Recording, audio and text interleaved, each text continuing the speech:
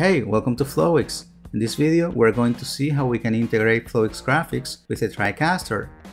For this integration, we need a PC running the Flowics NDI converter app and a TriCaster, of course, both connected in the same local network. Okay, so what we're going to do first is generate the video signal of our Flowics graphics package and stream it to the TriCaster. To do so, open the NDI converter app, set up a stream name, then grab the output URL of the graphics package and paste it in the NDI converter app. Also make sure the other settings are configured in the way you need and then click on start. Now we're generating an NDI output that is available in the local network where we have our TriCaster and the PC with Flowics.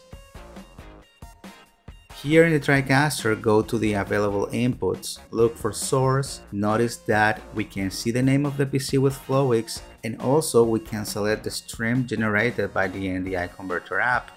After selecting it, we can see the Flowics graphics loaded in the TriCaster. And this is all. Thanks for watching.